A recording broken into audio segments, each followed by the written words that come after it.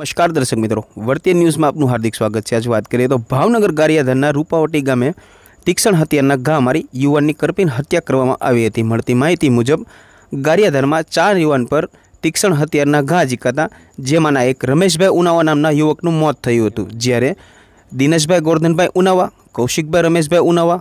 કનુભાઈ ગોરધનભાઈ ઉનાવાને વધુ સારવાર અર્થે ભાવનગર સર્ટી હોસ્પિટલ ખસેડવામાં આવ્યા હતા રિપોર્ટર આસિફ ખાન પઠાણ સાથે કેમેરામેન નદીમ ખોખર વર્તેજ ન્યૂઝ ભાવનગર